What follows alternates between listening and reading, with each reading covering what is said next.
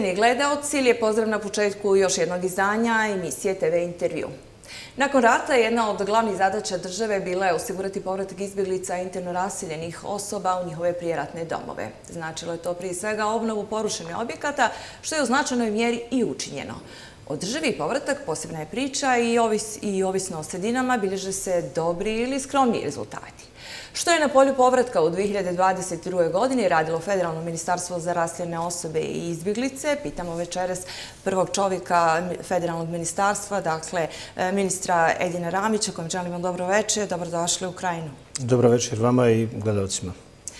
E, ministre, evo, prije nego što otvorimo vrlo važnu temu i aktivnosti koje ste provodili ne samo u ovoj, nego i u proteklim godinama, ne možemo evo, da vas ne upitamo, sada je definitivno aktuelna priča oko formiranja vlasti. E, kada e, je jedna vlada pri kraju mandata, onda do imenovanja druge uvijek postoji taj tehnički mandat. Kod vas je, odnosno u sadašnjem sazivu, trajalo je to i četiri godine. Vi ste očekivali da će ovako dugo vlada biti u tehničkom mandatu? Pa formalno nije u tehničkom mandatu iz razloga što ima neki svoj kontinuitet. Jel, uvijek je to vlada do izbora, do izbora novog sazva, ne postoji nigdje zakonski propisan taj tehnički mandat. A ono što se nije očekivalo jeste da HDZ jeli, drži cijelo vrijeme federaciju blokiran s namjerom da dobije izborni zakon onako kako njemu odgovara. A onda na kraju se pokazalo da ipak u ovoj zemlji kad pravite probleme, kad ste malo nestašni, onda vas smiruju na način da vam udovolje, jel, da vam daju ono što vam treba. Tako da je HDZ faktički u izbornoj noći je dobio ono što je tražio svo to vrijeme, to je novi izborni zakon koji je unio dodatne nesporazume u implementaciju izbornih rezultata. Tako da vidjet ćemo dalje kako će to riješiti određena pitanja na nivou federacije ili će ih dalje iskomplicirati. Ono što je izvjesno danas da, je, da su riješile te izmjene izbornog zakona jeste da su potpuno cementirale poziciju HDZ-a, da su oni zaštićeni. Evo, osvrnit ćemo se svakako i na ovu priču, ali e, koliko je vama bilo teško raditi u ovih e, četiri godine? Evo sada kažete, imali ste kontinuitet, ali gledano formalno pravno ipak je vlada bilo u tehničkom mandatu. Dakle, vlada je funkcionirala sasvim normalno. Ono što je bio, bio problem jeste da većina ministara je bilo u nekoj dvojnoj ulozi. Dakle, bili su i zastupnici u parlamentima i u jednom ministrstvu. To je jedna vrsta optrećenja. Ali, nažalost, imali smo određene blokade u parlamentima, neučestvovanje u radu, tako da se nije osjetilo to da ljudi rade faktički dva posla. I to je jedna od specifičnosti tog mandata. Taj neki osjećaj ovaj, neizvjesnosti u kojem se čeka kad se imenovati nova vlada ili ne, ali je očigledno bilo nakon lokalnih izbora da nećemo imati novu, uh, novi saziv vlade, tako da su svi se navikli jednostavno na te obaveze i nastavili rad sasvim normalno svoje poslove.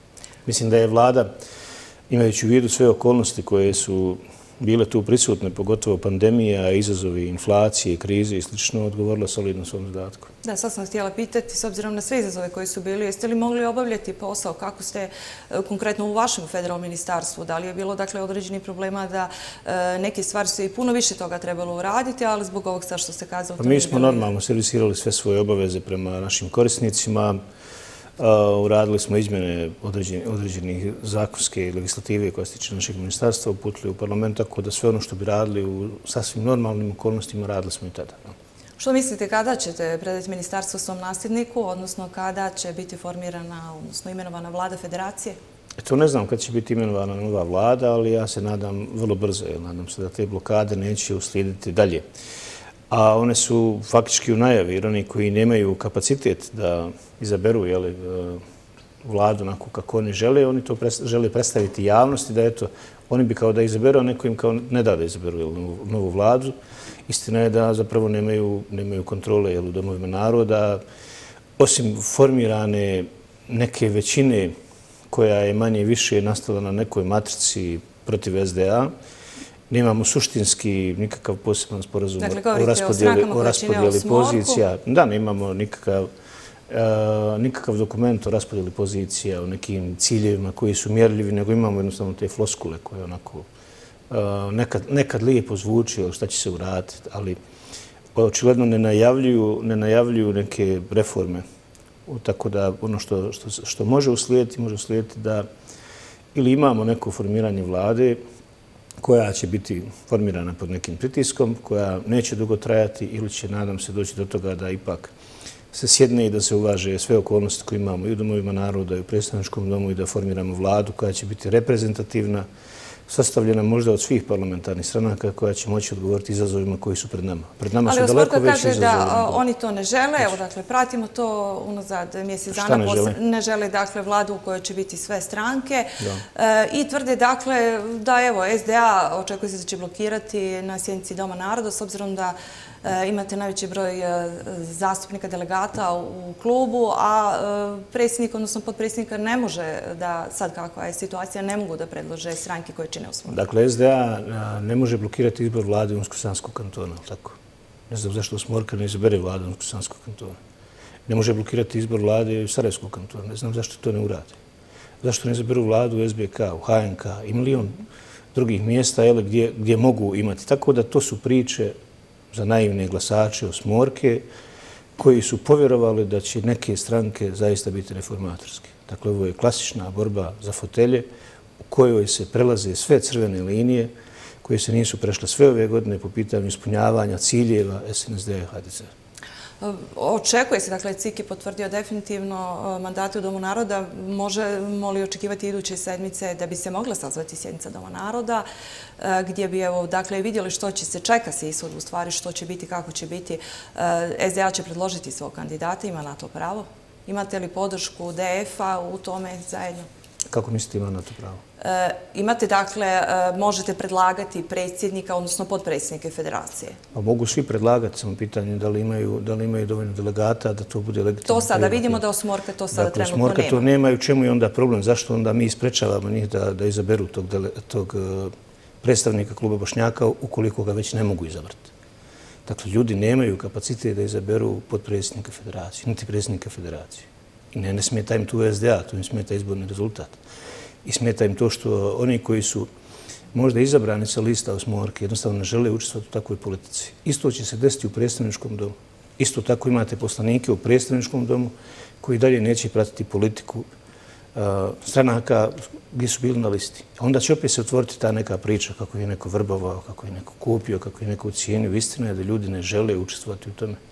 Vi, Vi sada da ponovite izbore, vidjeli bi da li bi Osmorka imala i blizu rezultata onako kako ga ima. Dakle, ne možete vi na, na bazi neke platforme, reformi, promjena dobiti ovaj izbore, a onda nakon toga uzeti glasove odneti ih ovaj, SNSD-u i HDZ-u na raspolaganje. Dakle, to jednostavno neće, neće proći. Da li je pritisak međunarodnih zvaničnika eh, da SDA ode u opoziciju?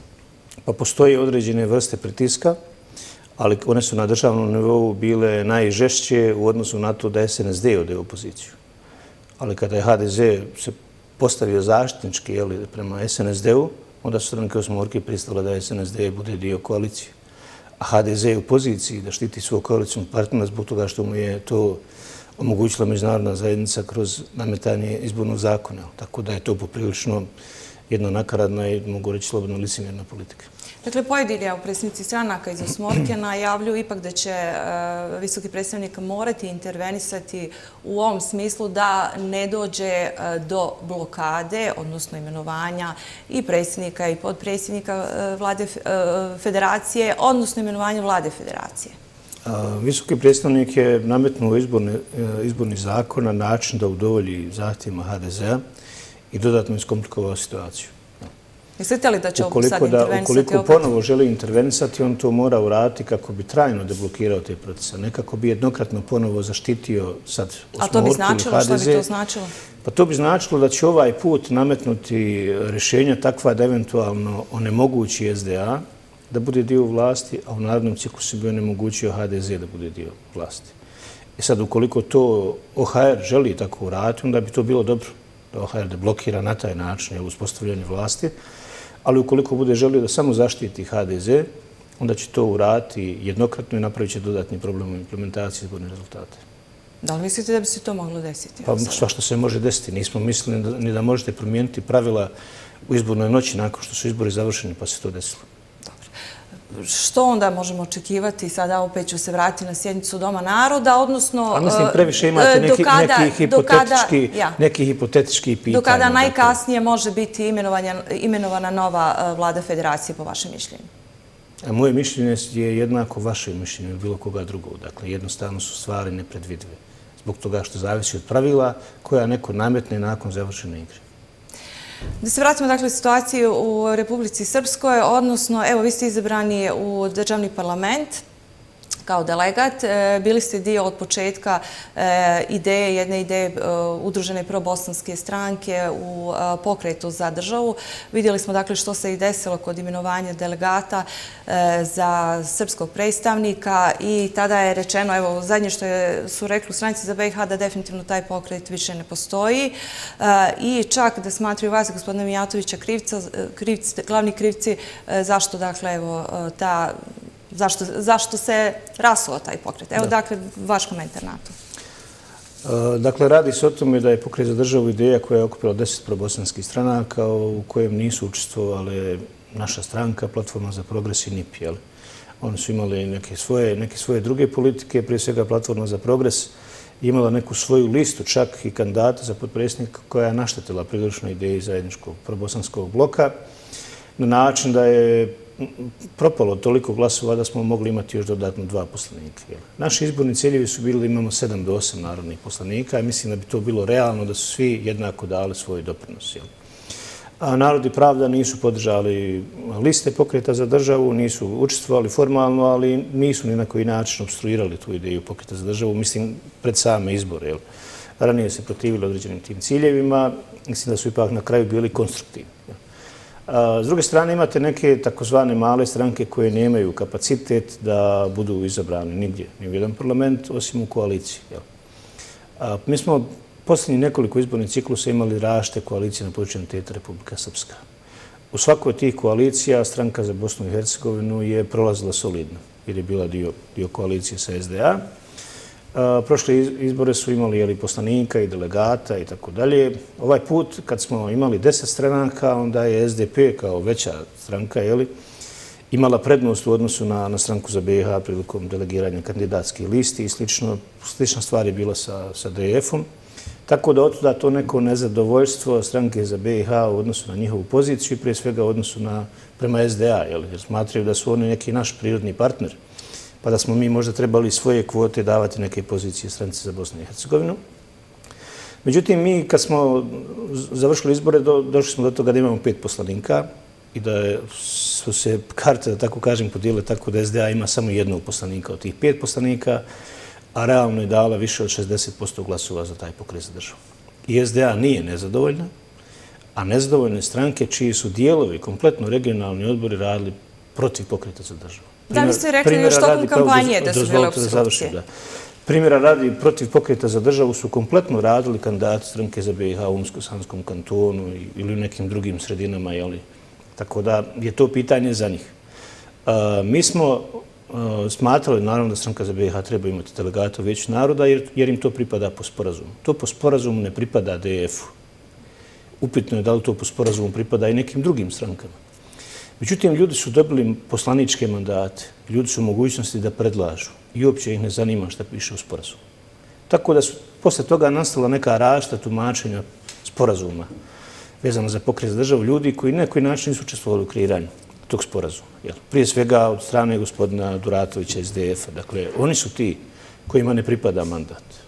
I oni su ti koji su uzeli faktički mandat stranice za BiH.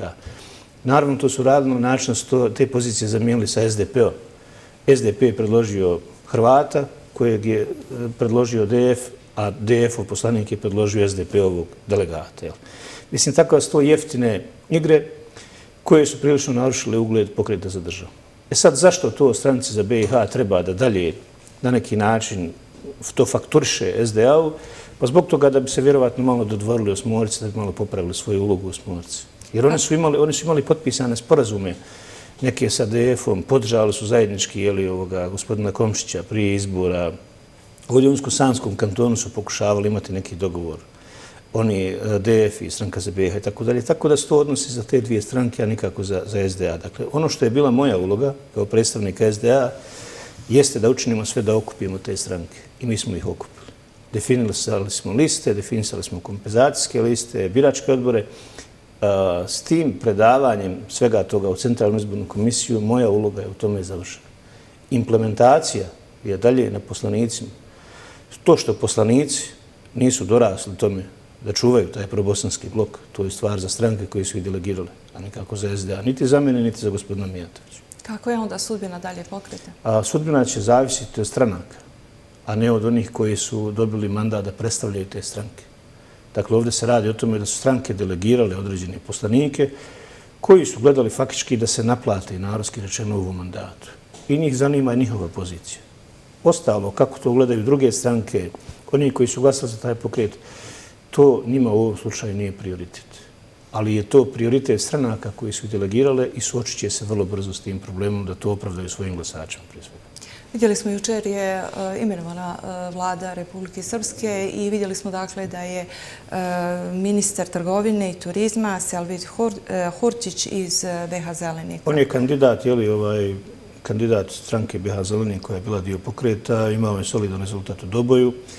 Je li mi nikad nismo nakon izbora, osim što smo jednom sjeli na neki, na neki sastanak koji je sazvao SDP, nismo došli do toga da razgovaramo o implementaciji izbornih rezultata. Nego su poslanici preuzeli tu ulogu, tumačeći sporazum onako kako im kada odgovara. Tako da, na primjer, BH Zelenin tumači da im pripada mjesto ministarstva, naravno ne tumači da im pripada neka pozicija šefa kluba u Vijeću naroda, ali može im se, da tako kažem. Slično je i sa DF-om koji je dobio poziciju podpredsjednika Narodne skupštine, tako da su to privatni aranžmani poslanika koji su izabrani. Dakle, to nikakve nema veze sa zajedničkim sastankom svih deset stranaka, da je deset stranaka silo i reklo mi to hoću. Nego je to jednostavno ambicija poslanika koji predstavljaju pokret za državu. Kako će se dalje odvijati situaciju već sa pokretom za državu, vidjet ćemo dok se malo ohlade glave, da tako kažem, dok se implementiraju svi izborni rezultati, jer ja lično smatram da zajednički nastup svi probosanskih stranaka, počujem teta Republika Srpska, nema alternativu. Dakle, mi tamo se trebamo držati zajedno kako ćemo nakon svega ovoga, kad pojedinci koji budu izabrani gledaju samo svoj interes ili interes stranaka, kako ćemo izaći uopće pred glasače, kako ćemo otići u dijasporu, da pričamo o zajedničkom nastupu. Da ima, imali ste jako dobru kampanju u dijaspori, e, tada ste svi zajedno nastupali. Ovaj, što je dijaspora očekivala od vas? Odnosno, šta sada e, nije ovo optimistično za pa, građane, ono- za povratnike u Republiku Srpsku koje očekuju puno, evo prije svega od predstavnika pro-bosanskih strana? Pa postoje neke stvari koje su nerealne očekivanjima. Dakle, ne možete vi izaći na izbore sa kapacitetom od 5 do 10 posto a očekivati da oni koji budu izabrani 100% promijene stvari. Dakle, dijaspora je učestvovala u izbornom procesu, ali to je simbolično. Dakle, to nije ni blizu kapaciteta koji ima dijaspora. Tako da će se simbolično desiti i promjene. Mi smo da da je dijaspora izašla značajno na izbore, da su značajno podržali probosanski blok, da nije bilo tih podijela unutar probosanskog bloka, prije svega strane platforme za progres, mi bismo imali osam poslanika, deset poslanika, onda bi bili neki jezičak na vagi koji bi imao značajniji kapacitet, jer ne bi bilo vidljivo to neko preslagivanje unutar, unutar stranaka pokreta, ne bi bilo tih problema, jel? Nego, nego bi bilo više, bilo više pozicija sa kojih vi možete mijenjati politike. Vi ovako ne možete mijenjati ništa. Mislim, oni su tamo jednostavno neki privjesak koji će služiti SNSD-u onako za dekor, da pokažu da su oni neko demokratsko društvo koje uvažava evo i druge i drugačije. Tako da jedan ministar u vladi Republike Srpske ne može vratiti ništa. Da li bi se gospodinu Duratoviću moglo desiti što se desile gospodinu Vratiću u ranjem mandatu? Pa to ne znam. To ne znam. To zavisi od raspoloženja Milorada Dodika. I gospodin Bratić, dok je vodio sjednicu Narodne skupštine, trudio se da bude prilično korektan u vođenju sjednice Narodne skupštine. Vrlo često je oduzimao riječ u poziciji, čak i meni nekad kako bi na neki način pokazao da, da on upravlja sjednicom Skupštine. Pa onda kad se Dodik malo naljutio na, na Izetbegovića, na SDA, onda je Bratić bio smijen. Možda će se slično desiti kad ovaj, Dodik zakuha sa, sa Komšićem, jel? pa se onda ne može osvetiti Komšiću, osvetiti se Duratoviću. Ali sve su to onako neke pretpostavke. Ja se iskreno nadam da će prije svega oni koji su dobili glasove od povratnika postati svjesni toga da oni predstavljaju povratnika na sebe i da, i da tamo trebaju zastupati njihove interese. Sad to ne radi. Dakle, sad oni zastupaju sebe. Što mislite kako će e, onda e, voditi se vlast na državnom nivou ako, evo, hipotetički je opet, e, ukoliko, dakle, osmorka već je dogovoreno na državnom nivou zajedno sa HDZ-om i SNSD-om, dakle, da će činiti vlast, ali evo, ukoliko to se učini na federalnom nivou, jel očekujete da, da mogu adekvatno odgovoriti na savez koji je već godinama između Čovića i Dodika? Pa neće oni uopće voditi nikakvu vlast, on neće ucati ni kakve procese oni su se već u startu opredijelili da neće smetati ničemu što je oko čega se ne slažu. Dakle, oni će jednostavno upasti u pozicije koje je imala SDA i zadovoljiti se time da, da imaju neke mandate i zadovoljiti se time da vode neke svoje ratove ili borbe unutar probosanskog bloka, ali na koji način da sprečavaju politike SNSD i HDZ-a. Dakle, to, to, se već, to se već vidi. Dakle, to je, to je očigledno. Ministre, vraćamo se dakle sada temu zašto smo vas e, također zvali i što je jako bitno. E, prisustvovali ste otvorenju, možemo reći, zgrade u Bosanskoj Krupi e, i danas, evo, obići ćete vjerovatno i zgradu koja se pravi ovdje u Bihaću za interno raseljene osobe. Što, kazali ste, dakle, mora se uraditi provjera, odnosno revizija registra. Koliko uopće imamo još uvijek osoba koje se vode kao interno raseljene, ali ali evo i kao izbjeglice. Pa mi u Bosni i Hercegovini sve baze podataka koje imamo, one su onako okvirne. Dakle, jednostavno služi tome da ih imate, a ne da vam daju neke konkretne podatke. Tako da niko ne zna stvarni broj raseljenih lica u Bosni i Hercegovini zbog toga što oni koji se vode kao raseljena lica u jednom dijelu Bosne i Hercegovine, na primjer u entitetu Republika Srpska, oni ne bi bili raseljena lica po pravilima u federaciji ili obrnuto. Dakle, vi imate situaciju da su na početku entitetu Republika Srpska, lica koja su iz federacije došli, naselili se u Republiku Srpsku, jeli, nakon rata. Većina njih je dobila neke besplatne placeve na nekom državnom zemljištu ili privatnom zemljištu, zadruga i sl. Dobili su građevinske materijale, uradili neke objekte, a sačuvan im je status rastavljenih lica. Na području federacije, oni koji su izbjegli sa područjem Tete Republika Srpska su privatno kupili svoje placeve, napravili kuće privatno, Nikad im nije obnovljena imovina na području Teta Republika Srpska, a federacija im je ukinula status rasilnog lica, kao da je njihova imovina obnovljena.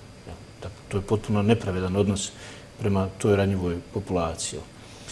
Mi imamo jedan značajan broj ljudi koji su otišli vani, koji su živjeli vani, kojima nikad nije obnovljena kuća na području RS-a i federacije i koji su izgubili status raseljenog lica, a koji imaju želju da, da se vrate, da se nadoknadi ta imovina koju su imali. Tako da postoji potreba da mi napravimo sistem re-registracije na način da se onim koji su još uvijek u stanju potrebe da se obnovi njihova stambena jedinica prijave i da se vrate u status. Mi to možemo raditi na potpuno normalan zakonski način kroz provođenje upravnog postupka, međutim, politički se izbjegava da se to uradi i to nam pravi određene probleme. Nama je priličan broj onih koji se javljaju i koji traže da se obnove njihova kuća, međutim nemaju nikakvu urednu dokumentaciju ili su izgubili status rasljenog lica, a ne mogu se prijaviti na počinu Teta Republika Srpska jer nemaju imovinu, pa zbog ovog zakona koji se tiče prebivališta, jeli, ne mogu se prijaviti na, na vlastitu adresu i ne mogu imati dokumente. Dakle, je to neki začalni krug iz kojeg mi trebamo izaći.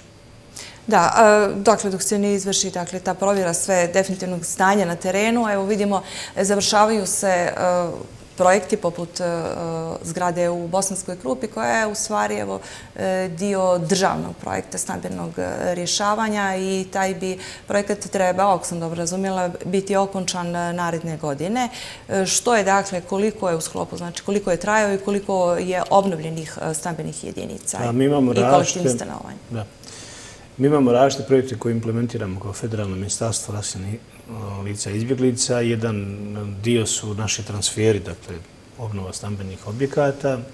Jedan dio je dodjela nekih sredstava za one koji ne mogu ugraditi taj građevinski materijal. A s druge strane, implementiramo dva značajna programa, to je regionalni stambeni program i CEP2. Regionalni stambeni program je donatorski program koji je nastao kako bi se u području regije Balkanske, Hrvatska, Srbija, Bosna i Hercegovina, Crna Gora riješilo pitanje raseljenih lica. Najviše je to zbog potrebe Hrvatske da riješi pitanje Srba u Hrvatskoj, ali Bosna i Hercegovina od toga dobila, mislim, 60 neki milion kako bi riješila svoje pitanje. Republika Srpska je to iskoristila za interno raseljena lica, U federaciji smo mi odlučili se u ovoj posljednjih nekoliko godina da uradimo više stambene jedinice iz razloga što obnova individualnih stambenih jedinica ide sporije i na kraju ne da potreban rezultat. Dakle, vi kad odete u istočnu Bosnu, u istočnu Hercegovinu, pa i neke druge dijelove, jel, entiteta Republika Srpska, imate značajan broj objekata koji su obnovljeni posredstvom različitih humanitarnih organizacija koji su potpuno prazni. Dakle, vi obnovite tu kuću, ljudi nemaju tu uslove za život, jednostavno napustite objekt. Dok na području federacije, u nekim rubnim dijelovima imate ljudi koji još uvijek žive u nekim barakama, u nekim neuslovnim objektima i sl. I mi smo se zbog toga odlučili na to da se, to rad, da se rade više stambene jedinice koje su vlasništvo općina u kojima će boraviti ta lica dok za to imaju potrebe, a ukoliko se nekad odluče za povratak da im se obnovi kuća u povratičkim mjestima, dakle on će obnoviti normalno svoju imovinu, a taj stan koji su dobili na korištenje će biti dodeljen nekim drugim licima iz socijalnih kategorija. Tako da se to pokazalo onako vrlo efikasnim. Međutim, u implementaciji projekta je li problem je što se desila pandemija, problemi sa izvođačima, kasnije cijene, je li tako da je to poprilično razvuklo implementaciju tog programa i nikad nije dovoljno sredstava da se sve kategorije ranjive smjeste u te objekte. Mi u okviru CEP2 projekta zatvaranja kolektivnih centara ćemo, nadam se, neki 75% centara zatvoriti. Još imamo potrebu dakle, za sredstvima i imamo običanje od Svjetske banke, prije svega, da ćemo nakon e, implementacije ovog programa ući u neki novi kreditni aranžman. Jer federacija se zadužila 40 miliona eura kako bi riješila to pitanje kolektivnih centara. E, uradili smo naravno banje jer su te cijene otišle ka gore i u nekim općinama radimo brže, u nekim sporije, zavisno od lokalne administracije. Tamo gdje imate dobru saradnju s lokalnom administracijom, to ide brže. Tamo gdje nemate korektnu saradnju, implementacija onako malo kasnije. Kakva je saradnja na području Unsko-Sanskog kantona sa općinama? Pa u nekim sredinama je to dosta dobro, u nekim je loše. Dakle, mi, na primjer, imamo u ključu, ne znam, jeste to uspjeli vidjeti, dva objekta. Jedan je iz RSPA, drugi je iz CEBA, koji će biti pod krovom do zime i na proljeće nadam se da ćemo uspjeti to useliti, jer završili smo useljenje objekta u ključu. Ovdje u Bihaću su prilično odmakli ti radovi, tako da nadam se iduće godine također da će biti useljenje tog objekta. Dok primjer radi u Velikoj Kladuši, mi smo nekad u maju mjesecu završili kompletno objekat i predali ga općini. Općina još do dana danas nije riješila pitanje upotrebnih dozvola. Tamo se desi da zadužite nekog referenta koji ode na bolovanje i onda se više time niko ne bavi naredne nekoliko mjeseci. I mi onda pišemo urgencije, zovemo, vršimo neki pritisak, niko se ne javlja. A onda se javljaju nama korisnici tog centra koji vrše na nas pritisak, a ne na općinu, bez obzira koliko im se trudimo da objasnimo da to je završena naša uloga. Dakle, po sporazumu koji mi potpišemo s općinama, svako ima jasne svoje zadatke šta da uradi. Pa onda imate tu različiti lica koji se smještaju u te kolektivne centre. Vi imate neke centre u federaciji koje smo mi završili. Ti ljudi dobiju stan i onda ga na kraju rentaju nekim trećim licima. Kako takve stvari spriječiti? Mogu li se spriječiti tako? Da, umeđu vremenu su riješili neku imovinu koja nije na njima, nego je na nekim njihovim srodnicima, pa onda ne može općina dokazati da oni imaju imovinu. To moraju raditi općine, jer mi to ne radimo. To rade općinske komisije, mi imamo tu svog jednog člana kao posmatrača, ostalo je nadležnost općina. Tako da ljudi moraju shvatiti da im je adresa općine. Imate rašti zloupotreba ljudi koji su u stanju socijalne potrebe od onih koji se predstavljaju da su strane socijalne potrebe. Imate ljude koji odu živjeti vani, koji dalje ganjaju da, da dobiju neki stan. I koji pišu nama pisma i dopise gdje je vidljivo da, da ljudi žive van, da uopće ne borave tu. Ali oni traže da njima neko dodeli stan. I smatraju da im to pripada. Ja. Kazali ste e, jučer, dakle, prilikom, e, evo, dakle, e, otvaranja ove, otvorenja ove zgrade, e, da sada ipak treba e, i više i raditi na tome, e, na projektima održivog povratka, odnosno da ljudi tamo gdje su im sanirane, napravljene kuće, se vratili davno i da tu ostanu, jer vidimo da ukupne ove migracije ovaj, ljudi odlaze posebno na području Ukrajine, dosta je dakle, mjesta, dosta općina gradova gdje se iselio veliki broj ljudi. Evo, šta možete učiniti po tom pitanju? Što možete ponuditi, kakve, podržati kakve projekte e, ljudima koji su već tu duže i niz godina, a možda razmišljaju i da i oni napuste što im je onda evo prilika? Mislim da generalno problem koji se tiče pitanja povratka je nastao u startu zbog, eh, zbog toga što se ignorisala potreba da ljudi koji se vratili zaposle se, da ima čega živjeti. Dakle, dugo vremena je povratak postavljen na način, to znači obnovu stambene jedinice, eventualno dodijelu neke freze, nekog plastenika i time se proces povratka završio. Ostalo bi oni trebali da se snalaze. Vi kad pogledate zakon koji definiše to pitanje, tu kompletnu oblast, on se potpuno završava na obnovi stambene jedinice. Dakle, šta kad čovjek ima stambenu jedinicu? Mislim, to je, to je potreba, ali on ne može živjeti od toga što, što ima krov nad glavom. Dakle, moramo se omogućiti da on negdje prevređuje da ima normalne uslove za život. Jel? Tako da mi s ove strane jel, državne vlasti učinimo napore jel, da uradimo stambene objekte, da uradimo potrebnu infrastrukturu i slično. Mislim da svi zajedno moramo činiti više, a popravimo ambijent ukupni privredni, kojem bi se razvijela privreda, u kojem bi se povećavao broj radnih mjesta i prije svega se povećavao kvalitet tih radnih mjesta, da ljudi, e ne, rade, da ljudi ne rade baš svakakve poslove. Pa možemo to stvariti kad nam to bude interes svima, jel, da svi posvetimo jednako tom pitanju, ne da smatramo da je to, je to obaveza jednog ministarstva. Dakle, to je potpuno a, multidisciplinaran pristup koji mi, nažalost, nemamo. Jel. Dakle, nije, nije to izolovano, izolovana pojava na način da jedno ministarstvo tamo uradi određene projekte i šta onda kad se to završi? Dakle, ta, koji su projekti, recimo, koji ste vi to radili u tom smislu? Da, konkretno, vaš sad kažete i ostali svi trebaju zajedno, ali što ste konkretno, što je vaše ministarstvo moglo, moglo ponuditi? Kakve projekte u smislu takle, tog održivog ostanka i, i povratka ljudi? Dakle, ovo ministarstvo, ako pogledate stranicu Federalnog ministarstva rasnih osoba i izbjeglica, a, je kao neka mala vlada. Dakle, mi, a, na, kada pitanju projekat evo svega, prije svega mladih pa zapošljavanje, Slično imamo, pored tog rešavanja stambenih jedinica, infrastrukture, putne, vjerskih zajednica, objekata za sport, rekreaciju, slično.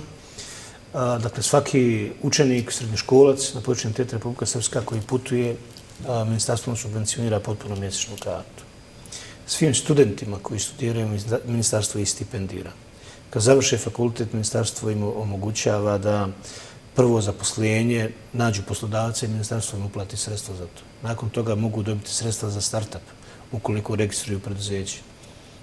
Firme koje zapošljavaju do pet ljudi mogu dobiti određena sredstva, ne znam, do 100.000, preko toga do 20 ljudi, 300.000 i tako dalje. Dakle, to su neki rašti programi i projekti. I koliko se ljudi javljaju, apliciraju, koriste sredstva? Javljaju se prilično u okviru... Neki uspješni primjeri, Da, u okviru pronatalitetne politike, u okviru pronatalitetne politike, dakle svaka, svaka majka jel, koja ima novorođenče tokom godine dobije određeni grant. Dakle, sva djeca u osnovnoj školi koja izučavaju nacionalnu grupu predmeta od nas dobiju sredstva i tako dalje. Međutim, to sve ne može raditi jedno ministarstvo. To mora biti zajednička aktivnost svih ovaj, općina, vlada, pogotovo sredina gdje se vraćaju. Nažalost, na počinu Tijeta Republika Srpska, tamo gdje se vraćaju naši ljudi, to nije interes općina. Dakle, ne zanimaju ih previše ti projekti. Kada su u pitanju jeli, pozicije koje smo mi imali ranije, Ministarstva za povratak, u kantonima, tu su rašti slučaje. A vi, na primjer, u kantonu Sarajeva imate dva zakona koji rješavaju pitanje rasnih lica, izbjeglica, dobri zakon, to sve lijepo zvuči vezano za zdravstvenu zaštu vezano za omogućavanje prava o Srebrenici, međutim, oni se uopće ne implementiraju u praksi. Tuzlanski kanton jednim dijelom pomaže ili proces povratka s nekim manjim iznosom sredstava, ali su solidno riješili zdravstvenu zaštu. Ne znam što Onsko-Sanski kanton radi po pitanju podrške povratku ovdje u regiju, u regiju Prijedora. Nisam nekad medijski upratio da ima neke značajnije programe, ali da ima, vjerovatno bih to primijetio. Tako da našim, našim vlastima se pomalo to pitanje povratka onako skinulo sa dnevnog reda. Mi sad više bavimo pravima, ne znam, cuka, pasa, lutalica, prirode i slično povrata, to, to, treba, to treba raditi neko drugi. Tako da se ne može to tretirati na taj način. Mi nismo a, se vratili u Republiku Srpsku, naši ljudi koji su se tamo vratili nisu se borili za Republiku Srpsku, nego su se borili za Bosnu i Hercegovinu, koja je zemlje svih, svih njenih građana i oni koji su dobili mandat i u Unsko-Samskom kantonu, u Sarajevu, Tuzli, bilo gdje drugo, imaju obavezu prema povratnicama povučenja teta Republika Srpska. I zajednički trebamo kreirati te programe i taj ambijent. Nažalost, to se ne dešava posljednjih godina. Jer imate možda e, podatke sad koliko je trenutno? Vidimo, dakle, bile e, jako obnovljene su kuće u Kozarcu i e, okolnim mjestima gdje su ljudi bili apsolutno protirani i znamo što se sve tamo dešavalo. Bio je nakon rata obnova kuća, pa je značajan broj bio se vratio, ali ponovno su, evo, zbog ovog što kažete, nema se posla ili ne mogu doći do radnih mjesta, ponovno su napustili. Koliko, imate li informacije koliko je sad trenutno ljudi živi, koji su stvarno, koji su tu samo evo u ovoj predjurskoj regiji, mislimo dakle na Bošnjake? To su samo neke različite procjene koje vi možete izlažiti na bazi rezultata popisa, koji opet nije realno. Tako da mislim da nema niko te podatke. Možemo mi praviti sad neke različite neke različite procjene koje će biti optimistične ili pesimistične, zavisno od potrebe zašto ćete koristiti taj podatak, ali zvaničan podatak koji je onako prilično reprezentativan nemamo, tako da ga nemam ni ja. Ono što je vidljivo golim okom jeste da je daleko manje stanovnika danas na području RS-a nego što je to bilo prije 10 ili 15 godina, ali isto tako ćete primijeti da je u Unsko-Sanskom kantonu u općinama daleko manje stanovnika. Dakle, to je jednostavno trend koji je prisutan, koji je vrlo teško zaustaviti dok se ne popravi ukupni životni standard građana. Može li nam šta pomoći što smo dobili kandidatski status? Ne znam šta će nam to značiti, osim toga da mi trebamo provesti određene reforme i slično po pitanju samog ambijenta, novca, projekata, dakle to ne donosi ništa. Jednostavno, mi smo na tom nekom putu sve ove godine, međutim mi moramo se odlučiti da provedemo reforme, moramo ojačati institucije koje će moći da povuku sredstva iz fondova Evropske unije i da na taj način popravimo ukupni ambijent. Ono što bi za nas bilo Značajno jeste da budemo članica NATO-a, da jednostavno taj sigurnosni element riješimo, jer nemoguće je očekivati od čovjeka da sredstva koja eventualno ima, koja je teško zaradio, ulaže u razvoj neke privrede, pa i u izgradnju nekih objekata vlastitih, ukoliko očekuje da će sutra, ne daj Bože, ponovo ovdje biti neki belaj. Kraj godine, jeste li onda zadovoljni koliko je u postojićim okolnostima vaše federalno ministarstvo uradilo i u ovoj i u protekle četiri godine? Mi smo ovoj godini uradili daleko više nego ranije, jer smo imali značajniji budžet. Više smo se trudili da realiziramo projekata u oblasti infrastrukture. Bilo je nekih zajedničkih programa i projekata sa lokalnim zajednicama počinjem Teta Republika Srpska, tako da smo prilično zadovoljni u tom dijelu. Ono zbog čega nismo zadovoljni jeste to što nismo uspjeli povezati više institucija, da zajednički radimo na realizaciju projekata kojima sam govorio, da popravimo ukupni ambijent i da popravimo prije svega neku ekonomsku sliku povratničkih sredina. E, ministri, za kraj, puno bure u javnosti izvali ste, dakle, evo, vezano za organizaciju dodjele novogodišnjih paketića u vašem ministarstvu. Različite akcije, oštre osude, pojedini. Tražili ste dakle da se provede anketa među poslanicima, da li organizirati to, hoće li biti organizirana dodjela novogodišnjih paketića za službenike ministarstva vašeg? Da vi u toku radnog vremena dobijete snimak da u nekoj federalnoj instituciji imate neku zabavu za djecu uposlenika koja je plaćena onako iz budžeta. Kako bi na to reagirali? Da, ali ovdje je ipak više reakcija na to zašto ste se odlučili, zašto ste se odlučili da provedete anketu. Nisam se ja odlučio ni na što. Nisam se ja odlučio ni na što. Radi se o tome da sindikat ima svoje organe. Ne može neko koji je predsjednik sindikata upućivati dopise bez da se konsultira sa članovima sindikata. Ne možete vi tražiti, organizirate neku zabavu, a da onda meni članovi sindikata prilaze na hodniku i govore pa da njima ne pada na pamet da dovode djecu u vladu, da dovode djecu pred jedan mraza i tako dalje, da njih niko nije konsultirao po tom pitanju i slično. Jedino što vi možete uraditi jeste da kažete ljudi dogovorite se pa onda recite šta hoćete. Tako da zbog toga je rečeno da sindikat obavi anketu sa svojim prije svega članovima i da onda prema tome dobije saglasnost od ministarstva za korištenje određene sale ili ne. Da li je to urađeno? Da li će oni to uraditi, ja to ne znam, jer mislim da nemaju za tu potrebnu saglasnost od strane svojih uposlenika. Da. Ali, evo, vidjeli ste, dakle, reakcije. Kako komentirate, dakle, reakcije da, evo, na način da branite da se organizira ta manifestacija? Dakle, vi imate situaciju da, na primjer, u Livnu izvedu djecu iz škole, jeli, da slušaju himnu Hrvatske i da pozdravljaju selekciju Hrvatske i bošnjašku djecu. I to ne izaziva reakciju niti vašu, niti bilo koga, niti bilo koga iz javnosti. Tako da to pokazuje neki, neki problem, jel, kada, prije svega kada su u pitanju bošnjaci. Dakle, neki kompleks koji mi imamo prema određenim pojavama i događajima. Dakle, nas uopće ne zanima počinjen teta Republika Srpska, što bošnjačka djeca učestvuju u svetosavskim akademijama, što ih se tjera da u okviru vjeronauke ovaj, slušaju neke, neke ražite stvari, što nekad dobiju domaće zadatke da crtaju Svetog Savu i sl. To, djecu, to, to ne zanima ljudi u federaciji. Ovdje i zanima što je neko odlučio kao da zabrane Djeda Mraza. Nije niko zabranio Djeda Mraza. Dakle, ne branite, zabranio, Niti je zabranio bilo kakvu aktivnost, nego jednostavno postoje procedure koje vi morate poštovati. Nije to moje ministarstvo. To je ministarstvo uh, dakle, koje, koje služi potrebama prije svega ranjive kategorije i koje ima više uposlenika. Znate koliko ima tamo nebušnjaka? 5%.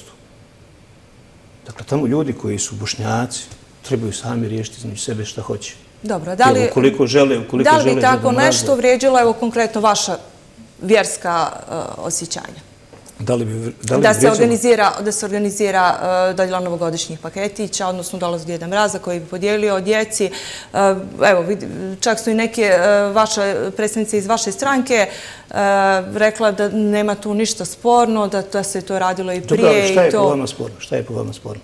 Kako vi reagujete ne, dakle, je, na te reakcije? Sporno? Šta je po vama sporno? Tvrdi se dakle, dakle da, li vaš, da li vrijeđa vaša vjerska osjećanja dakle, ukoliko bi se dakle, organiziralo to u vašem ministarstvu? Dopis koji je upućen je značio da sindikat obavi konsultacije sa članovima sindikata i da se oni izjasni ili to vrijeđa ili ne vrijeđa. tako?